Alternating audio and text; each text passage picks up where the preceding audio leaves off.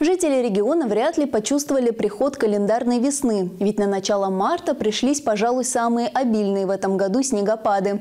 Мы решили поинтересоваться у горожан, как они относятся к таким капризам погоды. Неожиданно, наверное, хотя в наших погодных условиях довольно-таки прили... ну, привычно это.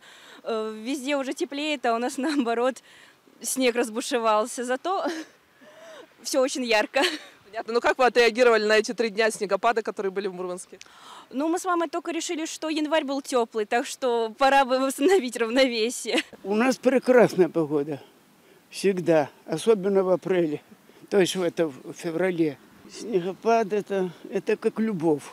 Он нечаянно нагрянет, когда его совсем не ждешь. Как всегда, все нормальная погода. Очень хорошая погода, тихая немножко. Раньше была хуже, мороз. Недаром говорится, зима недаром злится, прошла ее пора. Вот будет весна обязательно. снег выпал, э, скрыл эту грязь, ну, маленько даже светло и радостно стало. Вот единственное, что молодцы коммунальщики справляются.